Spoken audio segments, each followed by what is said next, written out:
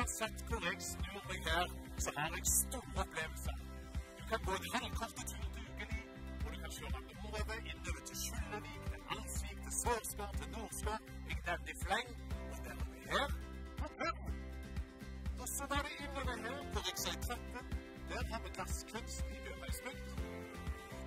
Og så har vi et stort